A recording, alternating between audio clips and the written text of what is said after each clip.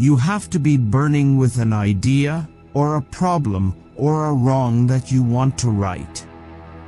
If you're not passionate enough from the start, you'll never stick it out. Be a yardstick of quality. Some people aren't used to an environment where excellence is expected.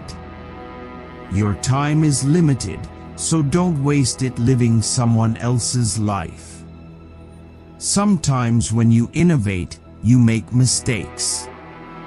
It is best to admit them quickly and get on with improving your other innovations. Have the courage to follow your heart and intuition. They somehow already know what you truly want to become. Everything else is secondary. Creativity is just connecting things. Don't let the noise of others' opinions drown out your own inner voice. Your time is limited, so don't waste it living someone else's life.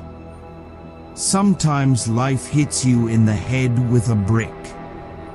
Don't lose faith. I think the things you regret most in life are the things you didn't do. Let's go invent tomorrow rather than worrying about what happened yesterday.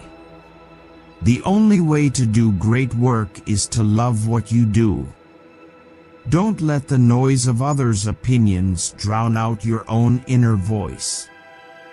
If you live each day as it was your last, someday you'll most certainly be right.